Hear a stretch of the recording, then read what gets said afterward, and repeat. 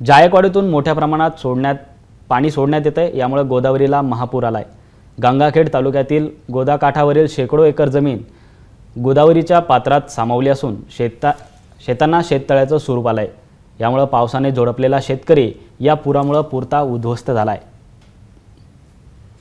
या परिस्थितीचं प या परिस्थितीचे पंचनामे करून लवकरात लवकर मदत द्यावी अशी मागणी शेतकऱ्यांकडून करण्यात येते आहे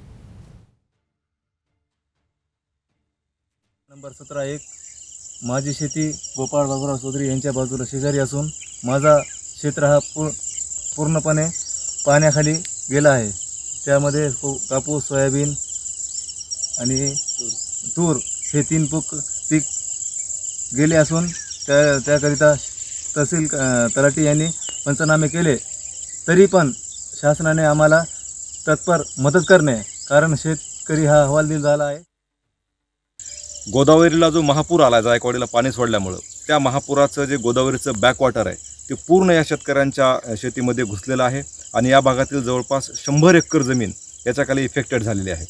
आजच आम्ही तहसीलदार अ, तहसीलदार साहेबांना बोललोत आणि त्यांनासुद्धा या परिस्थितीची पाहणी करण्याच्या आम्ही विनंती केलेली आहे. त्यांना तशा सगळ्या पद्धतीच्या सूचना वरिष्ठ पातळीवरून सुद्धा देण्यात आलेल्या आहेत.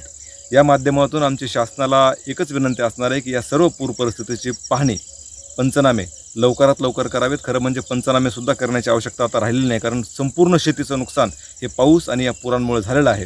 तर सर्व शेतकऱ्यांना सरसगट आर्थिक अनुदान आर्थिक मदत करावी अशा पद्धतीची मागणी आम्ही या निमित्तानं करत आहोत.